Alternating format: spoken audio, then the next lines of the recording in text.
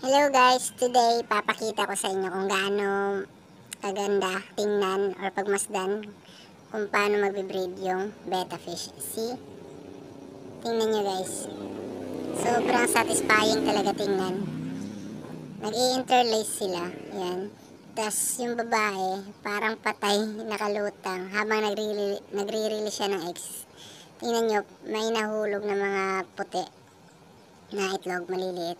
Yan yung kukunin ng male. Tapos ilalagay niya sa bubbles doon sa taas.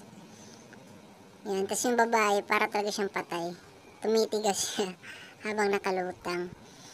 Tapos yung ibang itlog na nahuhulog sa baba, kukunin din yun ng babae at ng lalaki. Magtutulungan sila. Ilalagay nila sa taas.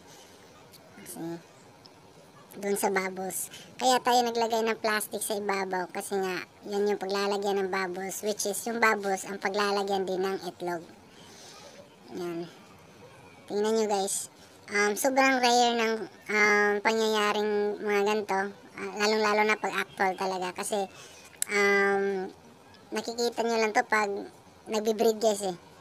Tapos minsan lang tayo nakaki- nakakakita ng mga breeders na nabibreed ng mga guppies. I mean betta fish. See? Sobrang ano talaga, unique yung paraan ng pagbibreed nila din.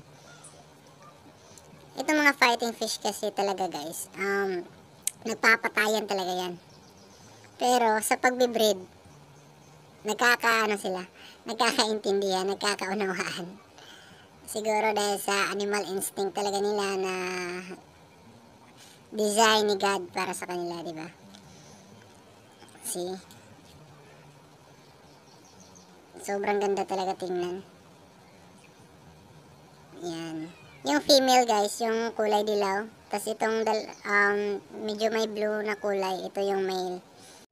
Pagkatapos nila mag-breed guys, sa loob ng 3 to 5 hours, kailangan na natin kunin yung babae or female kasi nga uh, may tendency na kainin ng female yung itlog. At kung hindi man, papatayin ng male yung female.